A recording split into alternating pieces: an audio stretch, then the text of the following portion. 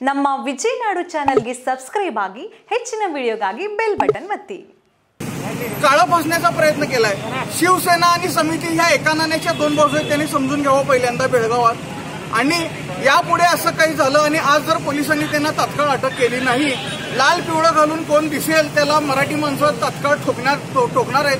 आणि याचा पूर्ण जबाबदारी याची पूर्ण प्रशासनाला स्वीकार- स्वीकारावी लागेल. आम्ही परवा शांततेच्या मार्गाने भव्य दिव्य मोर्चा काढत असताना त्यांच्या एका शब्दाला मान देऊन आम्ही मोर्चा परत आणलेला होता.